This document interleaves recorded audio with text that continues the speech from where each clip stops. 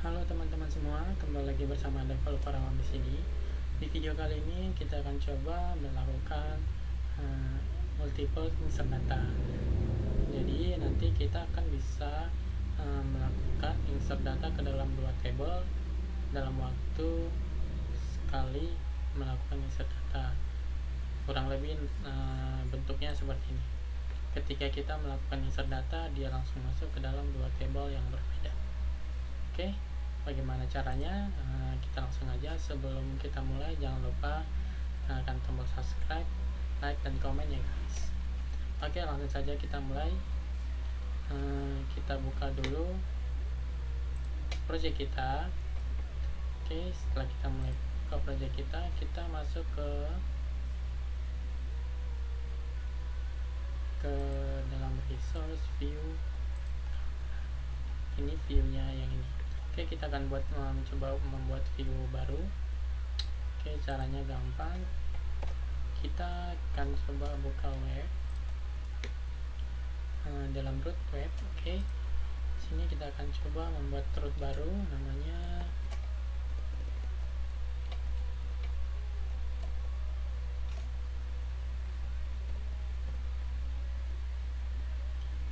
customer oke. nah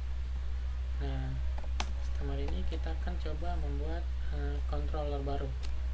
Kita akan coba buat controller baru. HP artisan make controller.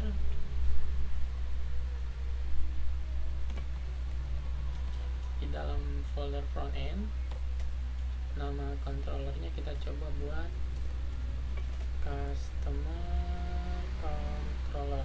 Oke setelah itu tekan enter Oke, setelah kita tekan enter, kita masuk ke dalam controllernya. Ya, ini. Controller customer controller. Oke, di sini kita akan mengarahkan ke dalam controllernya.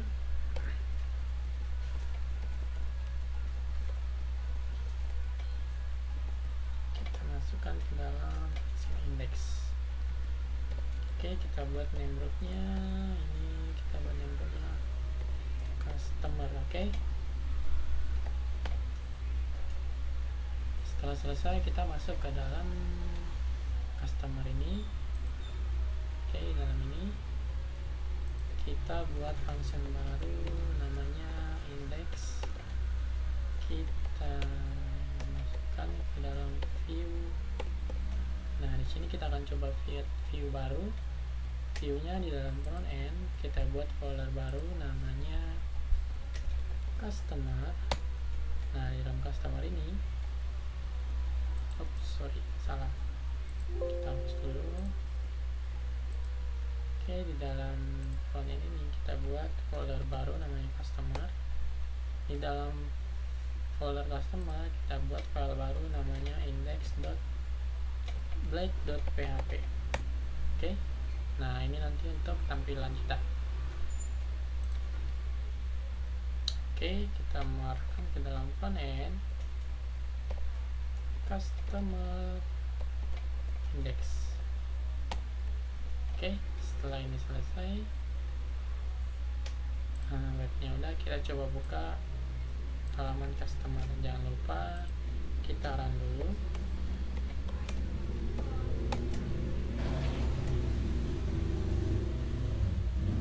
Oops, ada yang salah ya teman-teman ya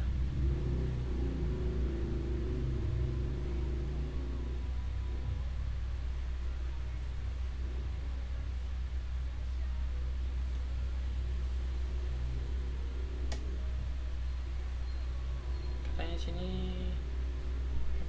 7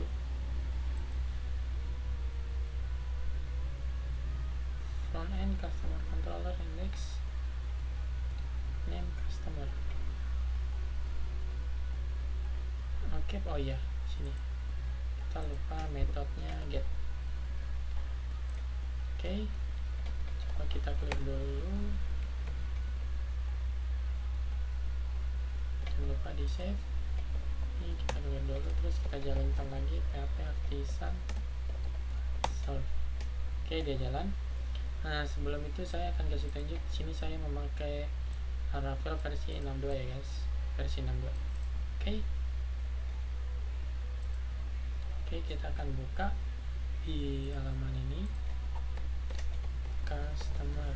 Masuk. Ya masuk ya tapi halamannya kosong karena di dalam views indexing ini kita ada kosong. Oke kita akan buat dulu tampilannya. Kita pakai bootstrap aja ya guys. Biar cepat. Oke kita pakai ini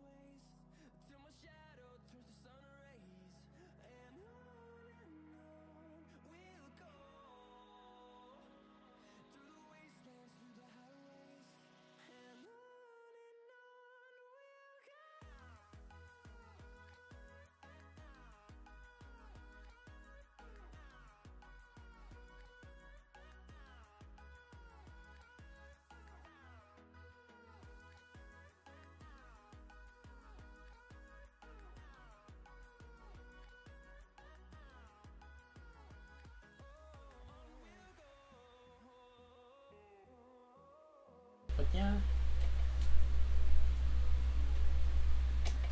oke sekarang kita akan coba buat modelnya. Nah di sini saya udah buat hmm, database-nya masuk ke Laravel. Nama database-nya Laravel. Nah, kalau kita close ini Laravel oke. okay. Nah di sini kita akan saya akan kita akan coba membuat um, dua model baru. Oke.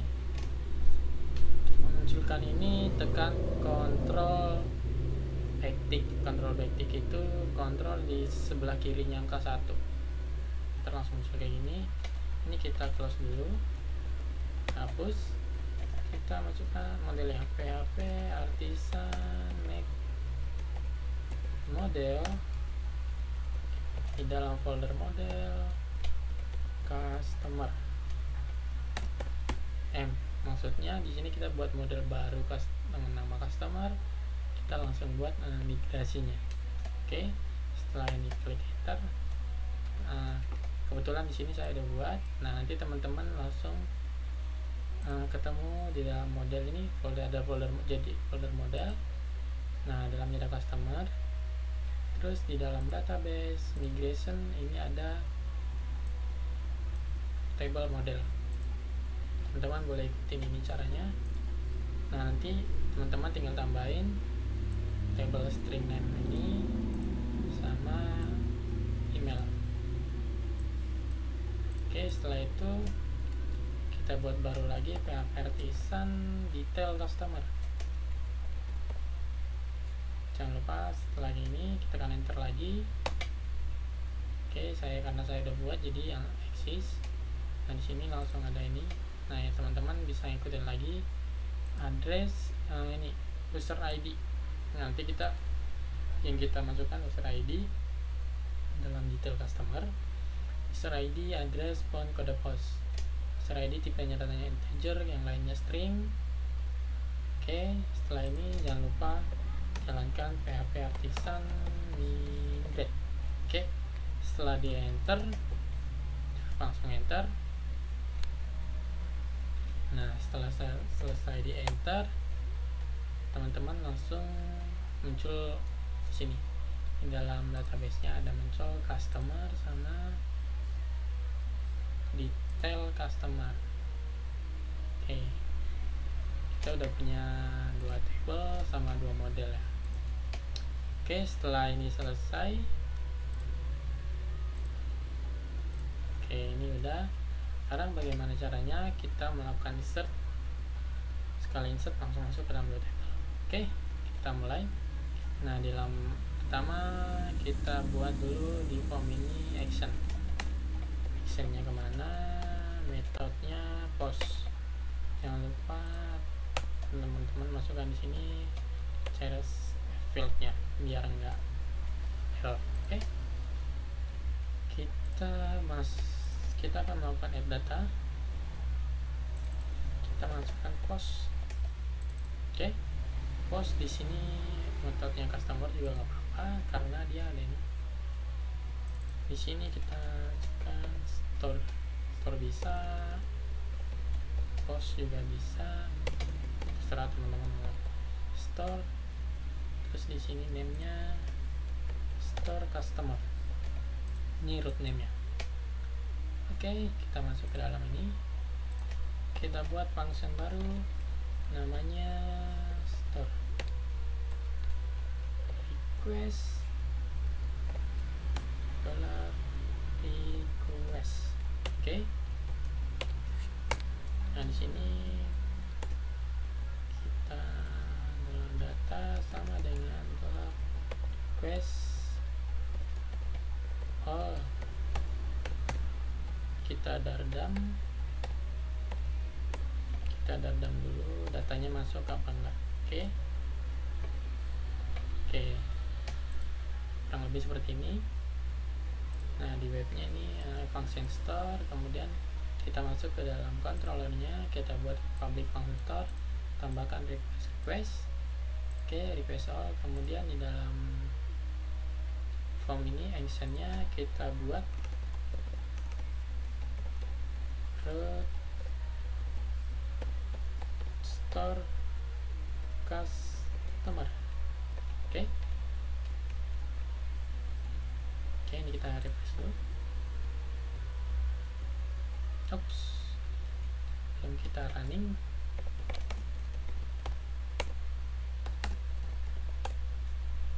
Oke tes lagi oke setelah selesai kita akan coba masukkan nama. Uh, kita coba buat namanya Budi Sudarsono. Kita masukkan emailnya budi gmail.com alamatnya ada di uh, contohnya kita buat di Bekasi nomor teleponnya bebas. Kode bahasa ini. Kita submit. Oke. Datanya berhasil diambil datanya berhasil diambil. Kita close. Nah dalam ini kita akan langsung memasukkan ke dalam dua table sekaligus. Caranya gimana? Pertama kita masukkan dollar customer sama dengan new customer. Oke jangan lupa diimpor modelnya. User pp model customer satu lagi tadi. Detail customer oke ini jangan lupa diimport ya teman-teman ya. Oke pertama. Dollar customer name ini sama dengan dollar data. Name oke. Terus ya email. Email. Customer name ini dari sini. Di dalam table customer field name kita isi dengan data name. Oke. Terus di sini adalah customer save oke. Satu data masuk. Kedua kita ke detail customer. Dollar detail customer sama dengan new detail customer. Oke. Okay. nah di sini detail customer. Ini apa nih? User ID user ID itu kita ambil dari sini. Dollar customer ID oke okay, nextnya setelah customer address. Address kita masih ambil dari dollar data customer font. Font. Kode pos kode pos oke setelah itu kita save. Tinggal customer save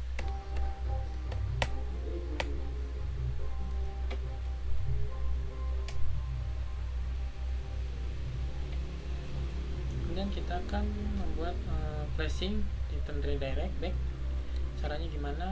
Kita langsung ke Laravel documentationnya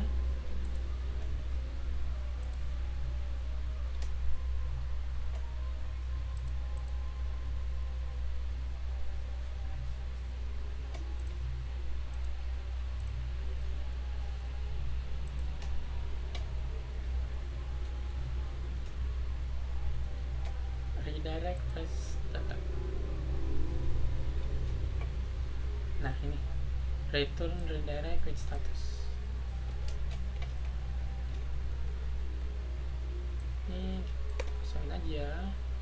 Return redirect back with status. Data berhasil di input. Ya.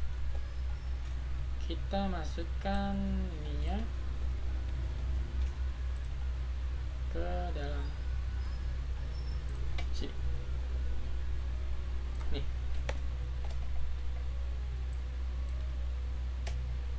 Oke. Jangan lupa di save oke setelah itu ini di save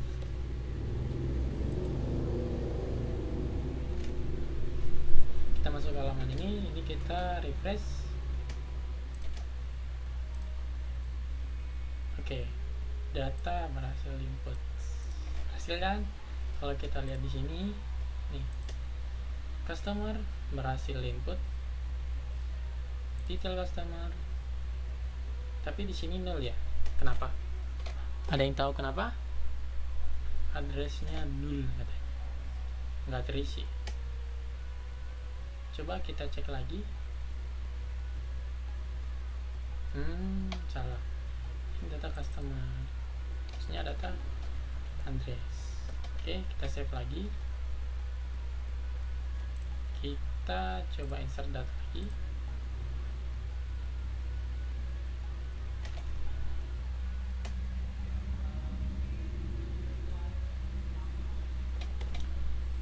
Hmm restu emailnya ini alamat sini nomor HP-nya ini bosnya oke data berhasil input kita cek lagi. Oke. Address yang masuk user ID nya 2 customer ini kan ID nya 2 oke berhasil. Oke. Nah sekarang kita akan coba membuat nanti metodenya kurang lebih seperti ini nah di sini kita akan buat masukkan alamat nama pengguna ini. Dia mempunyai lebih dari satu alamat. Nah kadang kan di kalau kita belanja di toko di marketplace kadang kita memasukkan alamat lebih dari satu. Kadang di alamat kantor alamat rumah alamat teman ya. Nah bagaimana caranya? Oke kita akan lanjutkan di video selanjutnya oke jangan ke mana-mana tetap stay terus di sini. Jangan lupa tekan tombol like subscribe dan komen. Oke sampai jumpa di video selanjutnya. See you